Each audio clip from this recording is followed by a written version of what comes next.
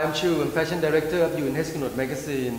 Today I'm going to take you through how to wear different looks uh, with a chambray shirt.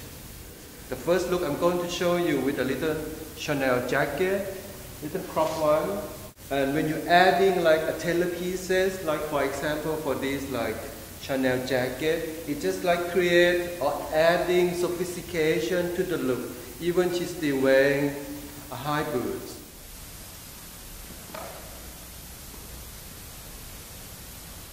Uh, this look I will call uh, 60 chic rock and roll instead of going for feminine 50s because I'm going to give it a twist with a biker jacket.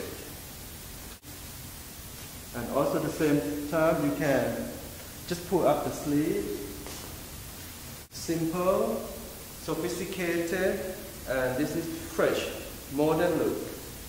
A little clutch bag this is, will bring a little bit of attitude to the look.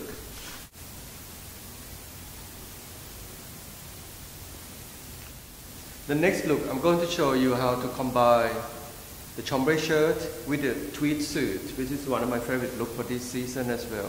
You can wear it without a jacket for the cocktails or with a, with a jacket for the office meeting.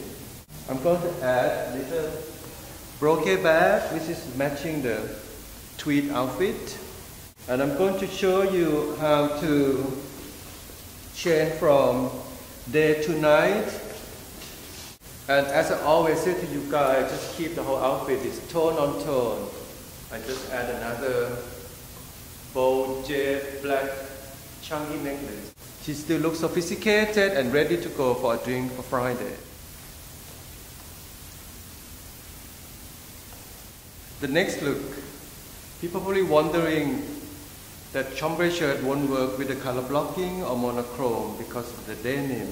So I want to show you that it works perfectly. She looks sophisticated, as I always say, and it's very fresh. And also 1960s, monochrome with the color blocking is very big trend for this season and next season.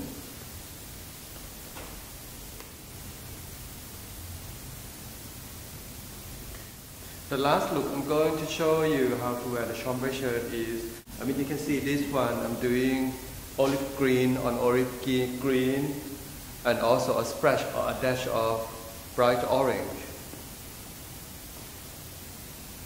To look warm and cozy and sophisticated.